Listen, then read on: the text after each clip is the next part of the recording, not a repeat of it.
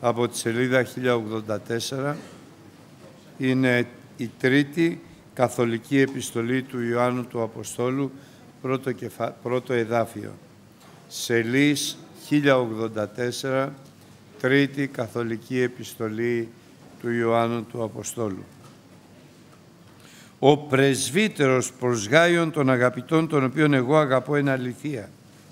Αγαπητέ, κατά πάντα εύχομαι να ευωδούσε και να υγιένεις, καθώς ευωδούται η ψυχή σου. Διότι χάριν κατά πολλά, ότι έρχονται αδελφοί και μαρτυρούσιν στην αλήθεια σου, καθώς σύ περπατήσεν την αληθεία. Μεγαλύτερα χαρά δεν έχω παρά τούτο, να ακούω ότι τα τέκνα μου περιπατούσιν εν τη αληθεία. Αγαπητέ έργον άξιον πιστού πράτης, ό,τι κάμνεις, και στους αδελφούς και στους ξένους ήτινες εμαρτύρησαν περί της αγάπης σου ενώπιον της Εκκλησίας τους οποίους καλώς θέλεις πράξη προπέμψος αξίως του Θεού διότι υπέρ του ονόματος αυτού εξήλθον χωρίς να λαμβάνω σημειδέν από των εθνών και εμείς λοιπόν χρειαστούμε να υποδεχόμεθα τους θειού τους για να γινόμεθα συνεργοί στην αλήθεια. Έγραψα προς την Εκκλησία αλλά ο φιλοπρωτεύων αυτών δύο τρεφής δεν δέχεται ημάς. Δια τούτο εάν έλθω θέλω επενθυμίσει τα έργα αυτού τα οποία κάμνει φλιαρών εναντίον ημών με λόγους πονηρούς και μη αρκούμενους εις τούτους, ούτε αυτός δέχεται τους αδελφούς αλλά και τους θέλοντας να δεχθώσει εμποδίζει και από τις εκκλησίες εκβάλλει. Αγαπητέ, μη μη μου το κακόν αλλά το αγαθόν. Ο αγαθοποιών εκ του Θεού είναι, ο δε κακοποιών δεν είδε τον Θεόν. Εις τον Δημήτριον δίδεται καλή μαρτυρίαν υποπάντων και υπό αυτής της αληθείας. Και εμείς δε μαρτυρούμεν και εξέβρεται ότι η μαρτυρία ημών είναι αληθής. Πολλά έχω να γράφω, αλλά δεν θέλω να συγγράφω διαμελάνης και καλά μου, αλλά ελπίζω ταχαίως να σε είδω και θέλω με λαλήσει στόμα προς στόμα. Ειρήνη σε, ασπάζονται σε οι φίλοι, ασπάζουν τους φίλους κατ' όνομα Αμήν, Αλληλούια. Τρεις άνθρωποι. Το όνομα του πρώτου Διοτρεφής, εκ των επισημωτέρων των εκκλησιών της περιοχής εκείνης προς την οποία απευθύνει την επιστολή αυτήν ο Ιωάννης, ο Απόστολος, ο σφόδρα αγαπητός μαθητής του Χριστού, ο μόνος που επεβίωσε μετά το 70 μετά Χριστό και είναι τώρα στην Έφεσο το 90-20 χρόνια μετά την καταστροφή του Ισραήλ. Διοτρεφή στο όνομα αυτού, όμως φιλοπρωτεύων, που σημαίνει είχε μεγάλη ιδέα για τον εαυτό του, ήταν αυταρχικός, ήταν εγωιστής, ήταν υπερήφανος, ήταν άκρος φιλόδοξος και ταραχοποιός. Όμως, αυτά που πίστευε για τον εαυτό του ήταν ότι υπερασπίζεται την αυτονομία της Εκκλησίας στην οποία είναι, επαναλαμβάνω, εκ των επισημωτέρων, ίσως και επισημότερος. Με τον τρόπο του θεωρεί ότι περασπίζεται την αυτονομία της Εκκλησίας. Εμείς θα κάνουμε ό,τι θέλουμε.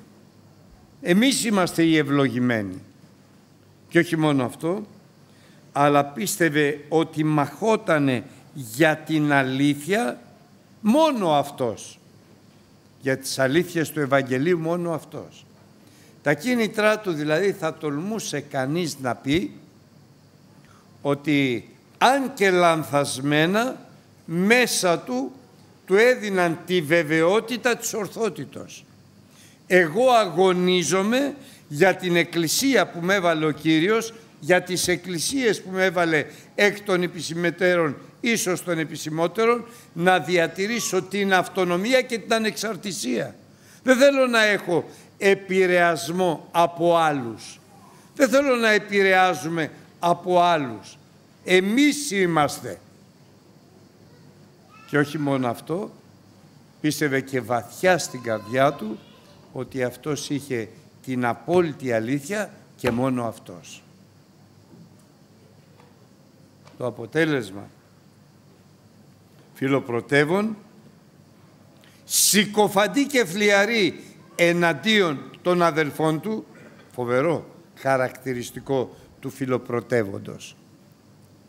Συκοφαντή και φλιαρή εναντίον αδελφών του. Και επαναλαμβάνω ότι ο Λόγος του Θεού και στην Παλαιά Διαθήκη είναι για τη διδασκαλία μας, στην Καινή Διαθήκη όμως είναι για τη σωτηρία μας. Πρόσεχε.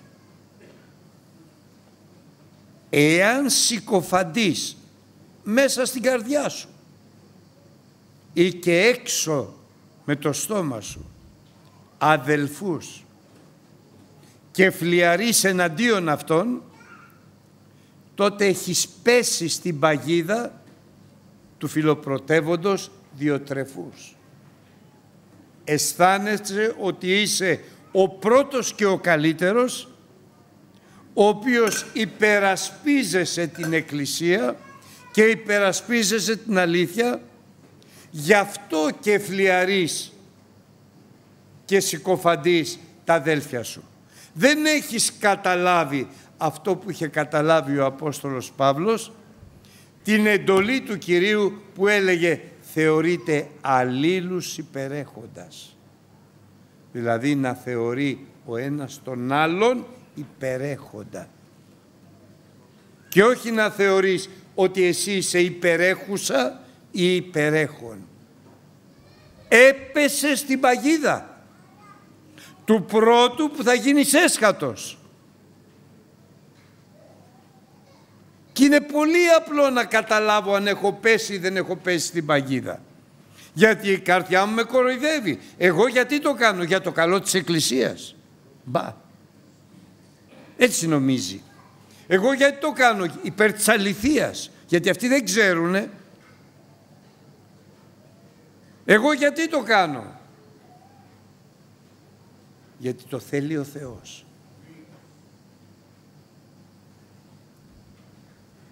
Και υπάρχει ο δούλος ο πονηρός, ο κακός, ο τεμπέλης, ο οποίος τσακώνεται, γιατί λέει βραδίνει ο Κύριος να έρθει, με αποτέλεσμα να απολαμβάνει μία ζωή που αρέσκεται εις αυτήν δεν θα απολαμβάνουμε τη ζωή που αρεσκόμεθα εμείς, θα απολαμβάνουμε τη ζωή που αρέσκεται ο Χριστός για μας. Πολύ σοβαρό αυτό αγαπημένα μου αδέλφια. Πάρα πολύ σοβαρό. Είναι, είναι τρομακτικό να έχεις πέσει στην παγίδα του πρώτου που θα γίνει έσχατος χωρίς να το έχεις καταλάβει. Και το ωραίο χαρακτηριστικό είναι φλιαρής εναντίον του, της, των αδελφών σου και ακόμη χειρότερο συκοφαντής των, τι, του, των αδελφών σου και δεν έχεις καταλάβει ότι έπεσε στην παγίδα αδελφή μου και αδελφέ μου. Και μία παγίδα που δεν βγαίνεις από αυτή. Μία παγίδα που το τέλος είναι το τέλος του Σαούλ ο οποίος κατηγορούσε συνέχεια τον Δαβίδ και όλους όσους υπερασπίζονταν τον Δαβίδ, ακόμη και το γιο τον Ιωνάθαν που τον αγαπούσε. Έπεσε στην παγίδα και δεν το έχεις καταλάβει. Και το τέλος είναι καταστροφή.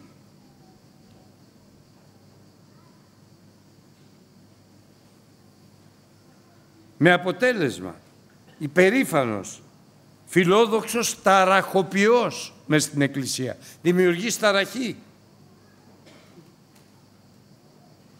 Δεν φέρνει ειρήνη ούτε στο σπίτι σου, ούτε στη γυναίκα σου, ούτε στον άντρα σου, ούτε στα παιδιά σου, ούτε στα αδέλφια σου. Τι φέρνει, ταραχή, φωνές, θυμό, κατηγόριες, συκοφαντίες. Και το τέλος πλησιάζει.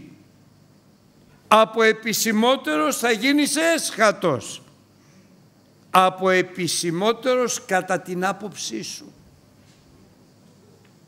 Γιατί αγωνίζεσαι υπέρ της αληθείας, την οποία μόνο εσύ ξέρεις, και αγωνίζεσαι υπέρ της αυτονομίας σου, την οποία μόνο εσύ διακρίνεις.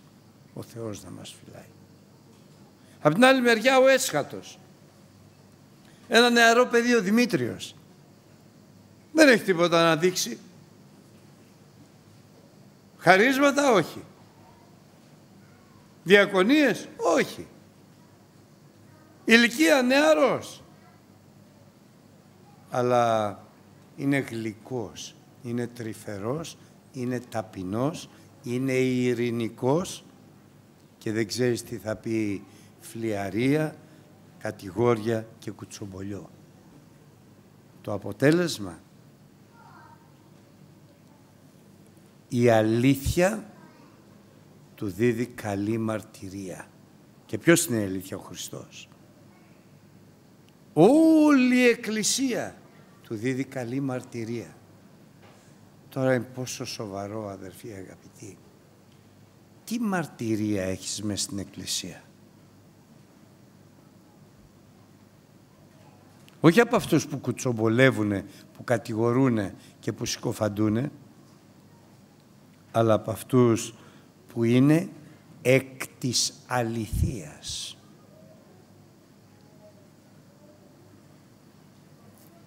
Έσχατος, αυτός θα γίνει πρώτος.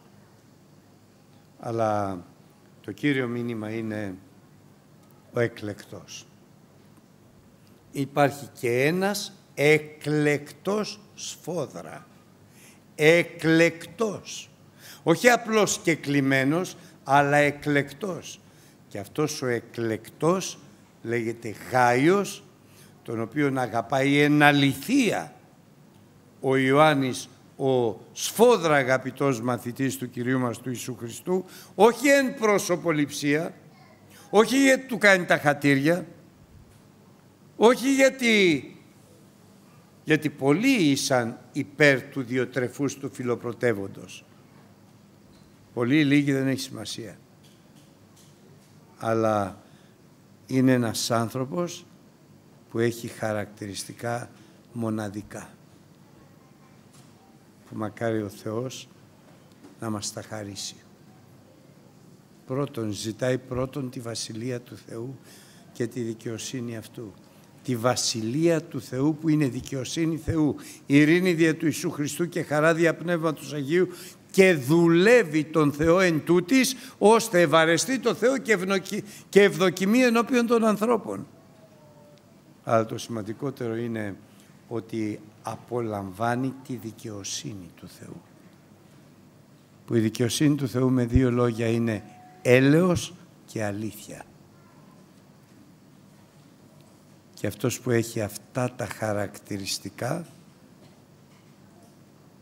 ο Λόγος του Θεού λέει ότι ο Χριστός εύχεται, ο Χριστός εύχεται, ο Ιωάννης για το Γάιο. Σήμερα όμως ο Χριστός εύχεται για σένα, αν έχεις αυτά τα χαρακτηριστικά, ό,τι κάνεις να, ευωδούς, να ευωδούται και να υγιένεις κατά πάντα σώμα, ψυχή και πνεύμα φοβερή ευχή και φοβερό χαρακτηριστικό του ανθρώπου, του μοναδικού ανθρώπου που έχει αυτά τα χαρακτηριστικά.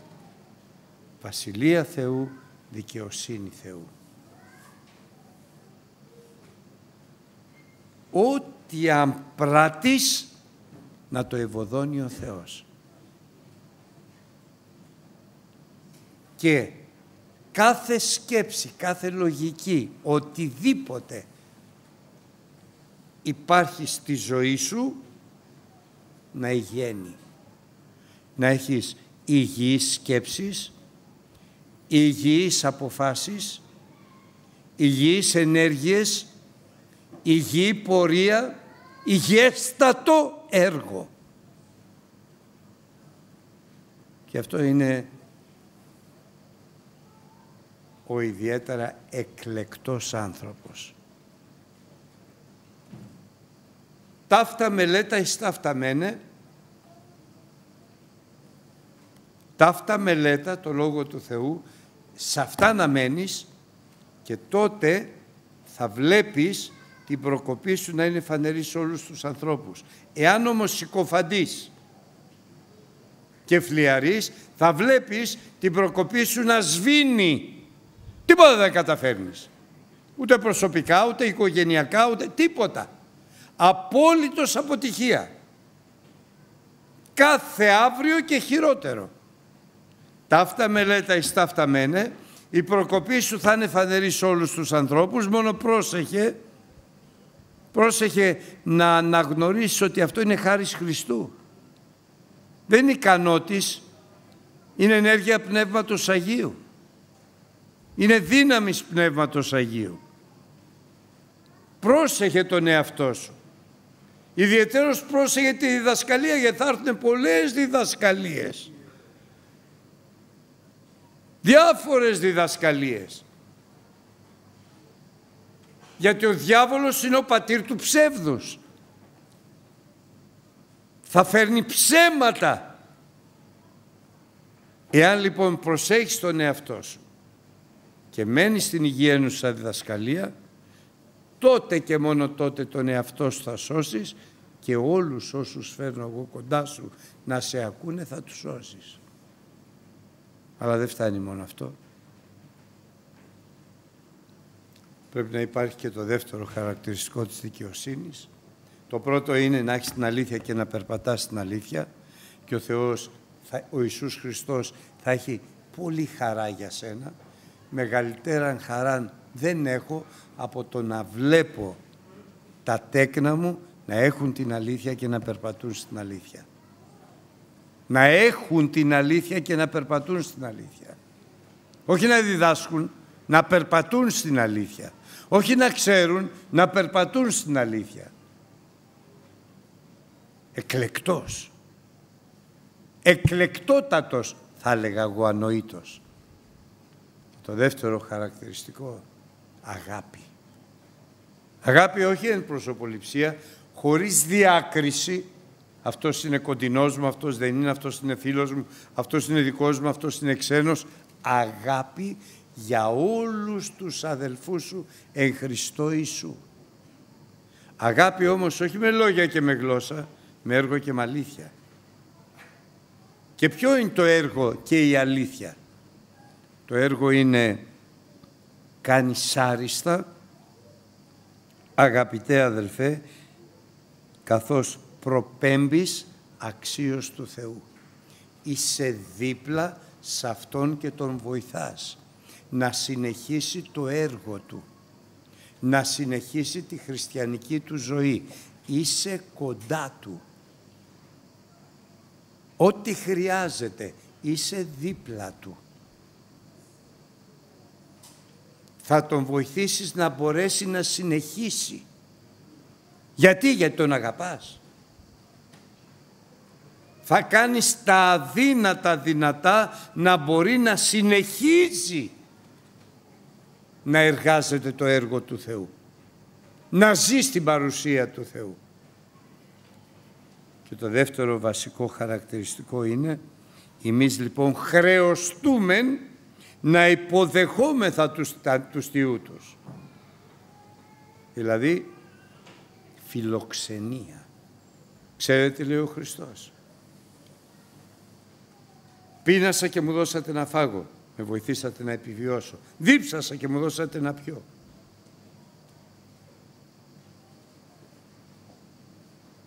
Άρρωστος ήμουν και με επισκεφθήκατε να με παρηγορήσετε και να με ενισχύσετε. Σε αδιαναμία ήρθατε και με ενισχύσατε. Απέκαμα με στηρίξατε. Ξένος ήμουν. Με φιλοξενήσατε. Αυτά είναι τα βασικά χαρακτηριστικά της δικαιοσύνης του Θεού. Βοηθάω γιατί αγαπάω. Όχι για να κάνω τον καλό. Βοηθάω χωρίς να μάθει κανείς τίποτα. Ό,τι κάνει δεξιά σου, μην το κάνει αριστερά σου. Ξέρεις, εγώ αυτό, εγώ τον βοήθησα αυτόν. Ναι. Τα χάσες όλα. Βοηθάω και το ξέρει μόνο ο Κύριος. Αλλά και ανοίγω την καρδιά μου και το σπίτι μου και φιλοξενώ γιατί είναι ξένος. Ξένος ήμουν και με φιλοξενήσατε. Πόσο σοβαρό είναι, αγαπημένα μου αδέλφια, να ζούμε ναι στη δικαιοσύνη του Θεού, ναι στη Βασιλεία του Θεού, δηλαδή να δουλεύουμε τον Θεό εν τούτης, ώστε να ευαρεστούμε το Θεό και να ευδοκιμούμε στους ανθρώπους, αλλά πόσο σοβαρό είναι να ζούμε τη δικαιοσύνη του Θεού. Αγάπη εγκεχημένη στη καρδιά μας μόνο δια Πνεύματος Αγίου. Αλλιώς δεν μπορούμε να αγαπάμε. Θυμηθείτε πώς ο Δαβίδ από την απόλυτη απελπισία έφτασε στην απόλυτη δύναμη. Μπήκε στο ταμείο του, εκρατεώθη εν Κυρίω και βγήκε άλλος άνθρωπος. Πώς εσύ και εγώ από την απόλυτη αδυναμία μου καθώς είμαι γεννημένος εκ της αρκός. Πώς θα μπω και θα βγω άλλος άνθρωπος; Ένας τρόπος υπάρχει. Μόνο ένας. Θα μπω, θα πληστώ πνεύματος Αγίου. Γιατί; Γιατί τις ασθένειες μου τις συναντιλαμβάνεται ο Κύριος. Και ο παράκλητος το πνεύμα της αληθείας, όταν πληρούμε πνεύματος Αγίου, όταν προσεύχουμε δια πνεύματος Αγίου, υπερμεσιτεύει υπέρ μόνο των Αγίων, υπέρ εμού, αν είμαι Άγιος, αν έχω μετανοήσει, αν είμαι πλημμένος με το αίμα του Χριστού. Και ο Θεός που γνωρίζει το φρόνημα του Πνεύματος του Αγίου, δίδει σε μας υπερεκπερισσού αυτά που ούτε ξέρουμε, ούτε μπορούμε να φανταστούμε και για τα οποία προσεύχεται το παράκλητος το πνεύμα της αληθείας. Και τότε θα είσαι κρατεούμενος εν Κυρίω το Θεό σου. Καθώς η αγάπη του Θεού Πατρός θα έχει πλημμυρίσει την καρδιά σου, θα έχει γεμίσει την καρδιά σου και τότε η καρδιά σου θα ενεργοποιήσει την πίστη σου και η πίστη σου θα γίνει πίστης δια αγάπης, δια πνεύματος Αγίου ενεργουμένη. Ξέρεις τι θα πει η πίστη σου να ενεργοποιείται από το Πνεύμα το Άγιο και να ενεργεί δια Πνεύματος Αγίου; Δεν είναι μία πίστη, πιστεύω, εμπιστεύομαι. Είναι μια άλλη πίστη. Δύναμη πίστεως εν Πνεύματι Αγίο. Μια άλλη τελείως διαφορετική πίστη. Πίστη Πνεύματος Αγίου. Εκρατεώθη εν Κυρίω το Θεό αυτού.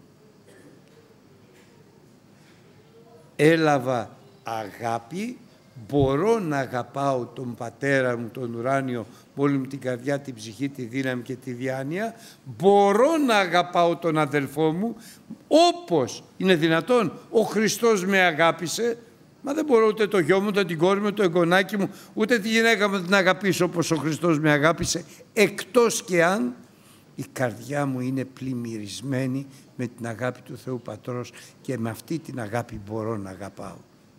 Και τότε με αυτή την αγάπη ενεργοποιείται η πίστη μου και γίνεται πίστης δια αγάπης ενεργουμένη. Φοβερό αδερφοί.